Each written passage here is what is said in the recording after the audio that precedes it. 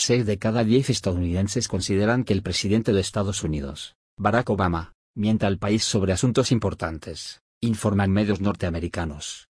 Según los resultados de una encuesta realizada por la cadena Fox News, el 61% de los sondeados respondieron que Obama, en ocasiones o con frecuencia, no dice la verdad. Mientras que solo el 15% de los encuestados sostiene que el jefe de Estado siempre dice la verdad. De acuerdo con el canal de televisión, los opositores políticos de Obama, en repetidas ocasiones, lo acusaron de distorsionar los hechos.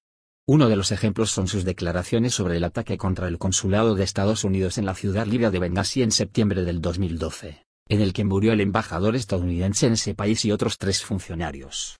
La oposición argumenta que Obama dio información falsa sobre el incidente, y le acusan de no haber reconocido inmediatamente el hecho como un atentado terrorista, sino un ataque espontáneo.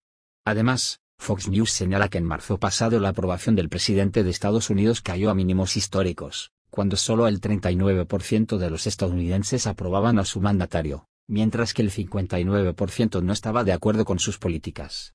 Uno de los factores negativos que ha influido en su desaprobación por parte de la población estadounidense es la política internacional que ejecuta la Casa Blanca.